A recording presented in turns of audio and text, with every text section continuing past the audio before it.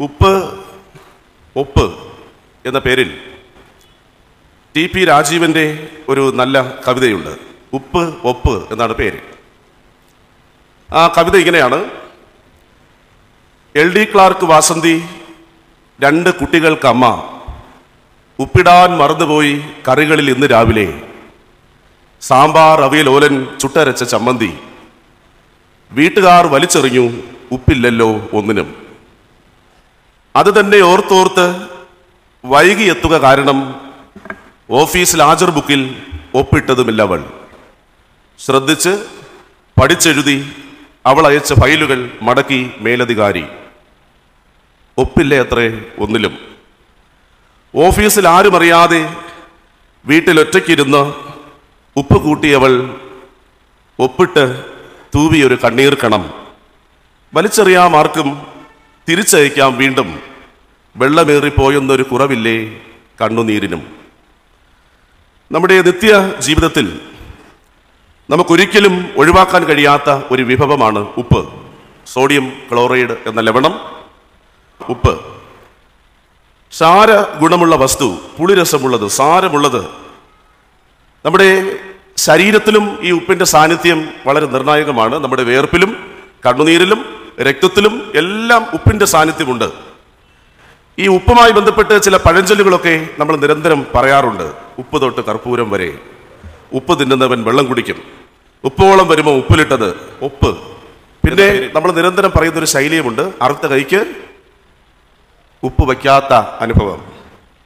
പാലസ്തീനിലെ dead see ചാവുകടലിനെ ഉപ്പുകടലെന്നും വിളിക്കാറുണ്ട്.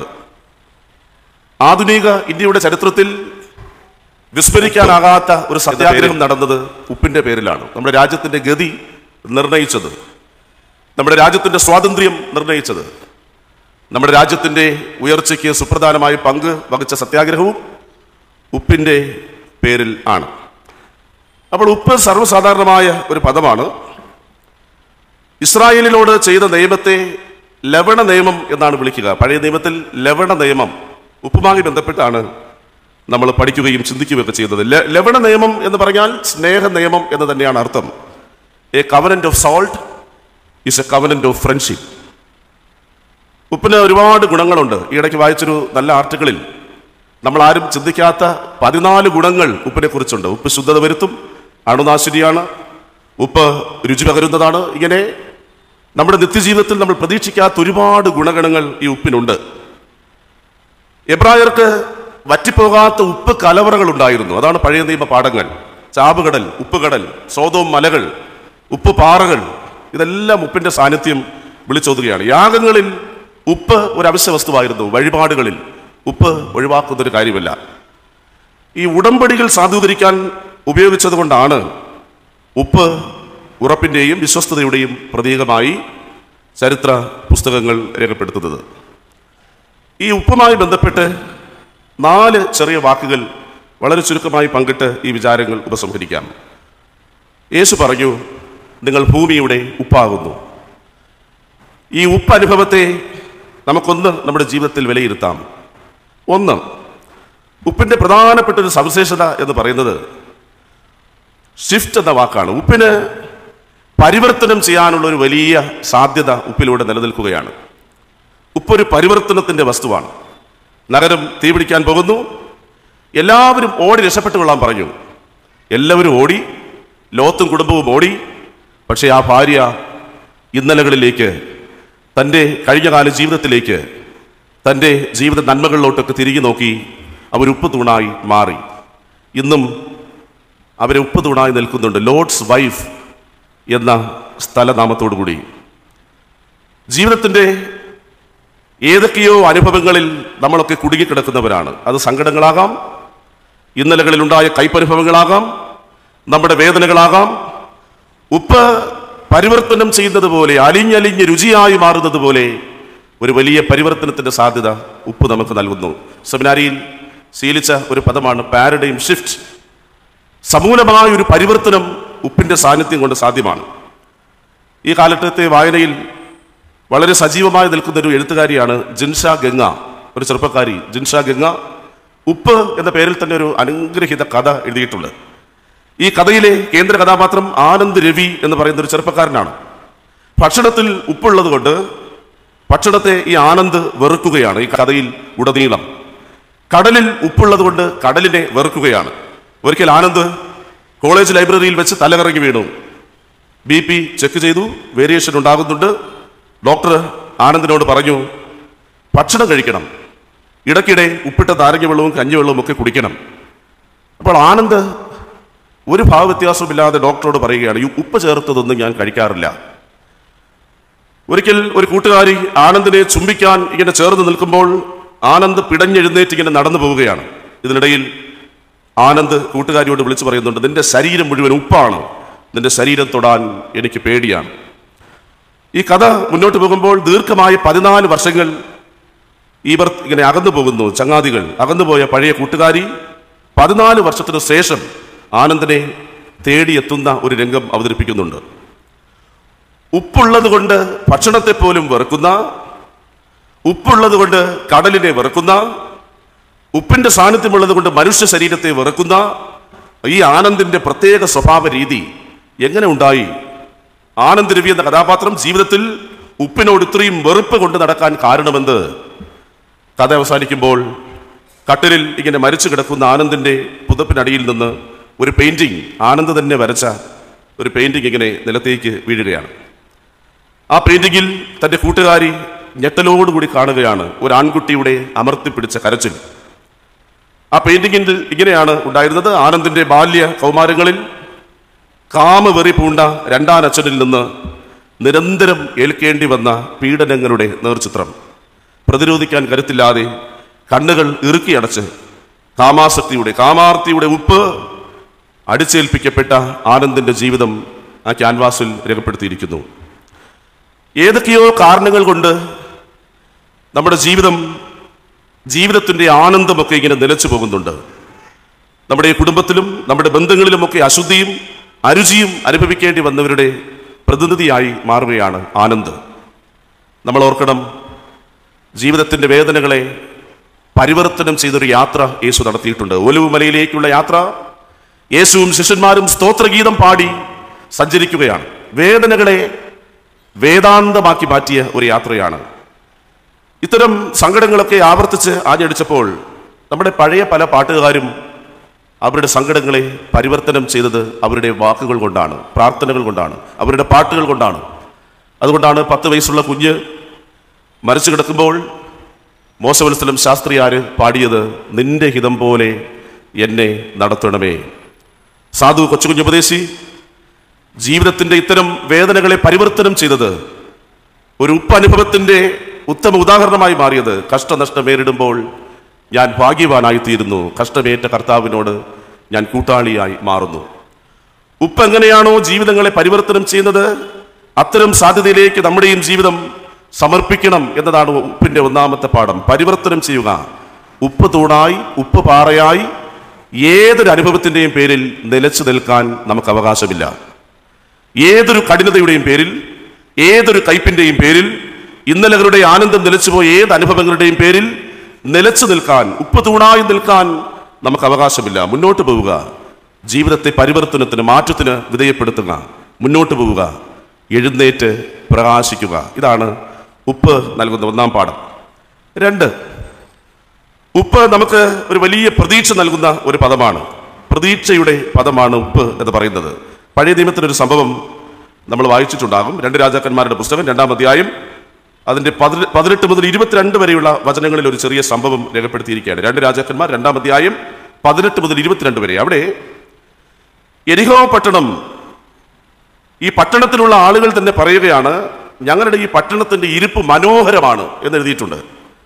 ഞങ്ങളുടെ ഈ പട്ടണം ഭംഗിയുള്ള മനോഹരമായ സാധ്യതകളുള്ള ഒരിടമാണ്. പക്ഷേ ഒരു പ്രശ്നം അവിടുത്തെ വെള്ളം വളരെ മോശമാണ്.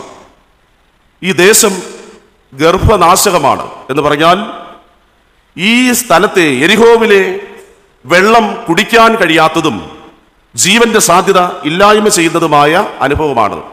കാണാനൊക്കെ നല്ല ഭംഗിയുണ്ട്. എരിഹോ വളരെ മനോഹരമായൊരു ദേശമാണ്. പക്ഷേ പ്രതീക്ഷകൾ ഭംഗിപ്പോയ പ്രത്യാശ ഭംഗിപ്പോയ ഒരു ഇടമായി മാറുകയാണ്. അപ്പോൾ എലീസ പറയുകയാണ് ഒരു പുതിയ തളിക തരിക. ഇരുപതാമത്തെ വാക്യം.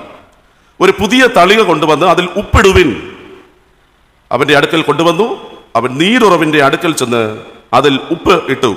ഞാൻ ഈ വെള്ളം പത്യമാക്കിയിരിക്കുന്നു. ഇനി ഇതിനാൽ മരണവും ഗർഭനാശവും ഉണ്ടാകുകയില്ല എന്ന് യഹോവ അരുളി ചെയ്യുന്നു എന്ന് പറഞ്ഞു. എലീസ പറഞ്ഞതുപോലെ ആ വെള്ളം ഇന്ന് വരെ പത്യമായി തന്നെ ഇരിക്കുന്നു.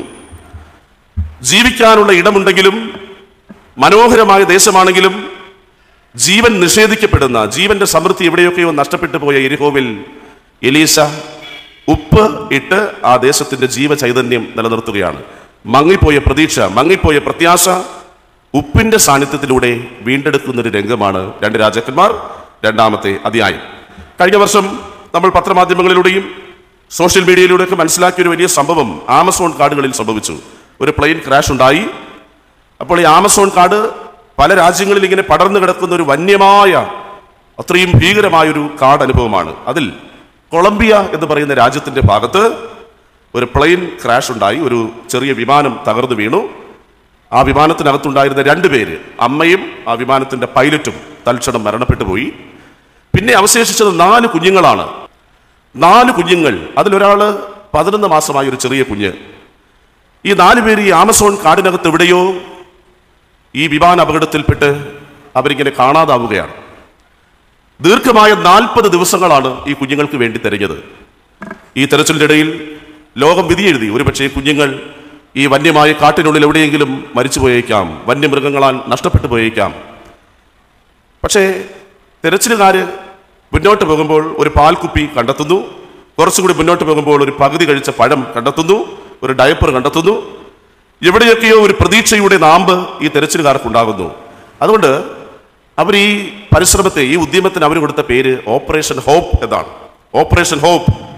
ഇത്രയും ഭീമാകരമായ വനത്തിനുള്ളിൽ നാല് കുഞ്ഞുങ്ങൾ എവിടെയെന്നറിയാതെ അലഞ്ഞുകൊണ്ടിരിക്കുന്നവരെ കണ്ടെത്താനുള്ള പരിശ്രമം ഈ പരിശ്രമത്തിന് ഈ ആളുകൾക്ക് ഊർജമായി മാറിയത് അവരുടെ ഗ്രാൻഡ് മദർ അവരുടെ ഗ്രാൻഡ് മദറിന്റെ ചില വാക്കുകളാണ്. ആ അമ്മാമ്മ പറഞ്ഞത് ഇങ്ങനെയാണ്. കാടിനെ അറിയുന്ന മക്കളാണ് അവർ അവർ ജീവനോടെ ഉണ്ടാകും. കാടിനെ അറിയുന്ന മക്കളാണ് അവർ അവരുണ്ടാവും. ഈ കുഞ്ഞുങ്ങൾക്കൊരു പ്രതീക്ഷ നൽകാൻ വേണ്ടി ഹെലികോപ്റ്ററിൽ വലിയ സ്പീക്കറുകളൊക്കെ ഘടിപ്പിച്ച് ഈ ഗ്രാൻഡ് മദറിന്റെ ശബ്ദം ശബ്ദത്തിൽ ഈ കാട്ടിലുടനീളം ഹെലികോപ്റ്ററിൽ ഇങ്ങനെ വിളിച്ചു പറയുകയാണ്. അമ്മാമ്മ ഇവിടെ ഉണ്ട്. ഞങ്ങൾ ഉടനെ നിങ്ങളുടെ അടുത്തെത്തും. നിങ്ങൾ ഭയപ്പെടണ്ട. ഞങ്ങൾ നിങ്ങളെ കണ്ടുപിടിക്കും. നിങ്ങൾ സുരക്ഷിതരാകും. എന്നൊക്കെ ഇങ്ങനെ അനൗൺസ്മെന്റ് ചെയ്യുന്നുണ്ട് അമ്മാമ്മയുടെ ശബ്ദത്തിൽ. നാൽപ്പത് ദിവസം കഴിയുമ്പോൾ ഈ കുഞ്ഞുങ്ങളെ കണ്ടെത്തുകയാണ്. ജീവന്റെ ജീവന്റെ സാന്നിധ്യമുള്ളവരായി. ഒരു പ്രായം ചെന്ന വൃത്തയുടെ വാക്ക് ജീവന്റെ ഹോഷത്തിന് കാരണമാവുകയാണ്. നമ്മൾ ഉപയോഗിക്കുന്ന വാക്കുകളും നമ്മുടെ ശീലങ്ങളും നമ്മുടെ പെരുമാറ്റങ്ങളും ആരുടെയെങ്കിലുമൊക്കെ ജീവനെയും ജീവിതത്തെയും നശിപ്പിക്കുന്നതാണോ നിഷേധിക്കുന്നതാണോ? ഉപ്പ് ജീവന്റെ വലിയ പ്രതീക്ഷ നൽകുന്ന ഒരു പദമാണ്. പ്രത്യാശയുടെ പദമാണ്. നിങ്ങൾ ഭൂമിയുടെ ഉപ്പാകുന്നു എന്ന് യേശു ലോകത്തോട് വിളിച്ചു പറയുമ്പോൾ ജീവനേകുക ജീവന്റെ സാധ്യത നിലനിർത്തുക ജീവന്റെ സമൃദ്ധിയെ ഘോഷിക്കുക ജീവനുള്ളവരായി നമ്മുടെ ജീവിതത്തെ സമർപ്പിക്കുക എന്നതാണ് രണ്ടാം പാഠം. പ്രതീക്ഷയുടെ പ്രത്യാശയുടെ പദത്തിന് ഇംഗ്ലീഷിൽ മനോഹരമായ ഒരു പദമുണ്ട് അവൈറ്റ്. അവൈറ്റ് എന്ന് പറഞ്ഞാൽ പ്രതീക്ഷയോടെ കാത്തിരിക്കുന്ന പ്രത്യാശയുടെ പദം. മൂന്ന്. ഈ ഉപ്പിന്റെ പ്രധാനപ്പെട്ട ഒരു സവിശേഷതയാണ് പ്രത്യേകിച്ച് ഈ പാലസ്തീൻ നാട്ടിൽ യഹൂദന്മാരുടെ ഒരു പശ്ചാത്തലത്തിൽ ഉപ്പിനെ കുറിച്ചൊരു പ്രതീക്ഷ അവരുടെ ഭവനങ്ങളിൽ ഈ ഉപ്പ് ഏറ്റവും പ്രയോജനമുള്ള ഒരു വസ്തുവാണ്. ഒരു പ്രകാശത്തിന്റെ വസ്തുവാണ്. വെട്ടം നൽകുന്ന ഒരു വസ്തുവായി ഈ ഉപ്പ് യഹൂദന്മാർ നിരന്തരം ഉപയോഗിച്ചിരുന്നു. ചൂട് നിലനിർത്തുന്ന ഒരു വസ്തുവായി വെളിച്ചമേകുന്ന ഒരു വസ്തുവായി എന്ന് പറഞ്ഞാൽ ഫലകരമായ ഒരു വസ്തുവായി പ്രകാശം നൽകുന്ന ഒരു വസ്തുവായി ഉപ്പ് ഉപയോഗിച്ചിരുന്നു. ഇതിന്റെ ഉറ കെട്ടുപോയാൽ കാരം നഷ്ടപ്പെട്ടു പോയാൽ പുറത്തെവിടെയെങ്കിലും വഴികളിൽ അവരതിനെ ഉപേക്ഷിക്കും. പിന്നെ മനുഷ്യർ ചവിട്ടുവാനല്ലാതെ മറ്റൊന്നിനും കൊള്ളുന്നതല്ല.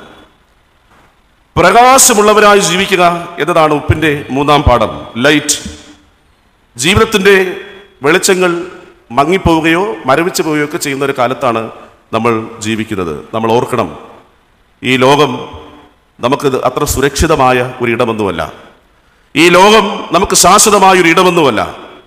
ഈ ലോകം നമുക്ക് ജീവിതത്തിന് അർത്ഥം നൽകുന്ന ഒരു ഇടമൊന്നുമല്ല. പക്ഷേ ഈ ഇടത്ത് നിങ്ങൾ ലോകത്തിന്റെ പ്രകാശമായി നിൽക്കാൻ നിങ്ങൾക്കൊരു സാധ്യത നൽകുന്നു. ഉപ്പ് യേശു ക്രിസ്തുവിന്റെ ഒരു പ്രസംഗമാണെങ്കിൽ പ്രകാശം എന്ന് പറയുന്നത് ഒരു പ്രവർത്തന ശൈലിയാണ്. ഉപ്പ് ഒരു രൂപകമാണെങ്കിൽ പ്രകാശം ജീവിതത്തിൽ പുലർത്തേണ്ട ഒരു സാധ്യതയാണ്. ഉപ്പ് ഒരു നല്ല പദാർത്ഥമാണെങ്കിൽ പദമാണെങ്കിൽ ഉപ്പ് അതിന്റെ പ്രവർത്തനം കൊണ്ടാണ് അതിന്റെ അർത്ഥം നിർണായകമാക്കാൻ പോകുന്നത്. അതിന്റെ പ്രവർത്തന ശൈലി അതാണ് പ്രകാശം എന്ന് പറയുന്നത്. നാല് ഉപ്പിന്റെ ഒരു പ്രധാനപ്പെട്ട അനുഭവം നമുക്ക് എല്ലാവർക്കും അറിയാം. ടേസ്റ്റ് രുചി. നമ്മുടെ ആഹാര പദാർത്ഥങ്ങൾക്ക് രുചി പകരുന്ന അനുഭവമാണ് ഉപ്പ്. കൊലോസിയർ ലേഖനം നാലാം അധ്യായം ആറാമത്തെ വാക്യം. ഓരോരുത്തരോട് നിങ്ങൾ എങ്ങനെ ഉത്തരം പറയണം എന്നറിയേണ്ടതിന് നിങ്ങളുടെ വാക്ക് എപ്പോഴും കൃപയോടുകൂടിയതും ഉപ്പിനാൽ രുചി വരുത്തിയതും ആയിരിക്കട്ടെ. ഓരോരുത്തരും തങ്ങളുടെ സാന്നിധ്യവും ഇടപെടലും വഴി തങ്ങളുടെ പരിസരങ്ങൾക്ക് രുചിയേകുന്നവരാണോ എന്നതാണ് ഈ ദിവസത്തെ ചോദ്യം. നമ്മുടെ സാന്നിധ്യം നമ്മുടെ ഇടങ്ങൾക്ക് രുചി നൽകുന്നതാണോ?